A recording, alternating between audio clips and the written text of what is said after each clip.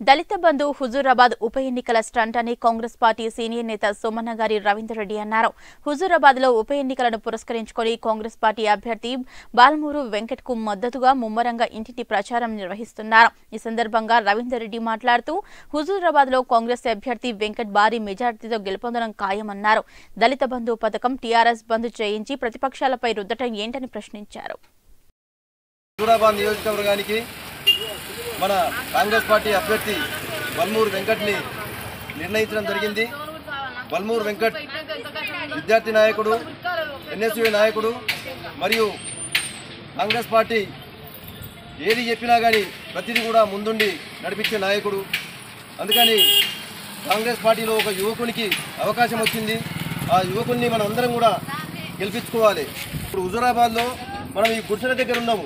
కేసీఆర్ గారు ఏది చెప్పినా కానీ నిజం చెప్తారని మనం ఏ రోజు కూడా అనుకోలేము ఇప్పుడు ఇక్కడ ఉన్న తల్లులు ఈ హుజూరాబాద్లో ఉన్న ఈ ఒడ్డెల గుడిసెలలో ఉన్న తల్లులు అందరూ కూడా ఏమంటారంటే మాకు ఇండ్లు లేవు.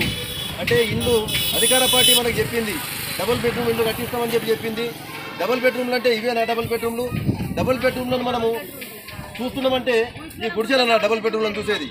హుజూరాబాద్ ప్రజలందరూ కూడా ఒక్కసారి గమనించాలి. కేసీఆర్ గారు ఉద్యమం టైం నుంచి కూడా ప్రతిదీ కూడా మోసమే. అప్పుడు ఉద్యమం తర్వాత నాకు అధికారమే అవసరం లేదని చెప్పిన కేసీఆర్ గారు ఒకవేళ అధికారం వస్తే దళితుడిని సీఎం చేస్తా అని చెప్పిండు. దళితుడిని సీఎం చేసిండా? దళితుని కూడా సీఎం చేయలేడు. తర్వాత దళితులకు ప్రతి ఒక్కరికి కూడా మూడు ఎకరాల భూమి ఇస్తున్నాడు మూడు ఎకరాల భూమి ఇచ్చిండా? మూడు ఎకరాల భూమి కూడా ఇవ్వలేడు తర్వాత డబుల్ బెడ్రూమ్ అన్నాడు. డబుల్ బెడ్రూమ్ ఇచ్చిండా? డబుల్ బెడ్రూమ్ కూడా లేవు. తర్వాత ఇప్పుడు దళిత బంధు అంటుండు. దళిత బంధు కూడా ఒక నాటకంగా తెర మీదకి తీసుకొచ్చిండు. మళ్ళీ దాన్ని కేసీఆర్ గారి ఆపించి మళ్ళీ ఇప్పుడు వేరే పార్టీల మీదకి తోస్తున్నాడు. ఇది కేసీఆర్ గారు ఏది చెప్పినా కానీ నిజం చెప్పడు. ఏది చెప్పినా అబద్ధమే చెప్తాడు. ప్రతిదీ కూడా అబద్ధమే చెప్తాడు కానీ నిజం చెప్పడు. అందుకని చెప్పి రాబోయే రోజుల్లో కూడా మనం మంచిగా ఉండాలి. మన తెలంగాణ రాష్ట్రం అంతా కూడా మంచిగా ఉండాలంటే హుజూరాబాద్ నియోజకవర్గంలో కాంగ్రెస్ పార్టీని మనందరం కూడా మీరందరూ కూడా గెలిపించాలి.